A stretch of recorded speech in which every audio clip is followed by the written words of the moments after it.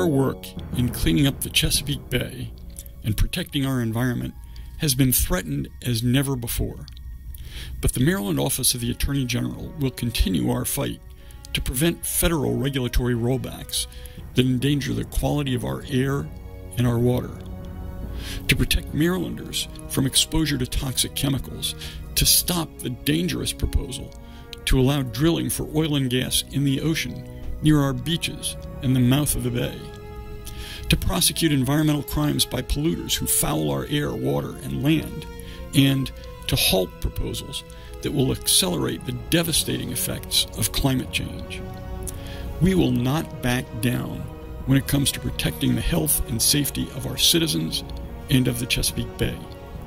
We will do all we can to ensure that every man, woman, and child in our state has clean air to breathe and clean water to drink.